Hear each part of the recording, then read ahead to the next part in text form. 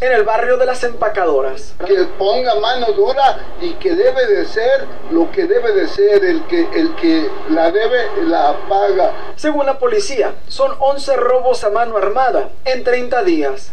Los hechos ocurren entre las 6 de la tarde y las 11 de la noche.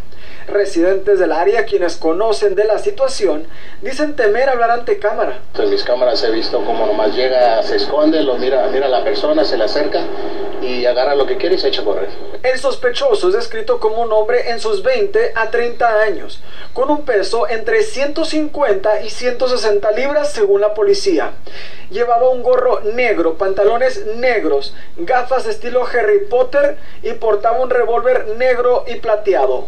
La verdad, a pesar del tiempo, uh, es un barrio complicado, uh, pero hay que salir a trabajar, otra no nos queda. ¿Qué vamos a hacer? Con la ayuda de Dios. El concejal del área, Raymond López, asegura estar al tanto de la situación y por tal motivo ha tomado pasos para abordar esta ola de hurtos que golpea a sus residentes y negocios. We will be hosting a community meeting Estaremos organizando una reunión comunitaria este jueves por la mañana con líderes empresariales y residentes de la comunidad para discutir lo que deben tener en cuenta y ver si alguien tiene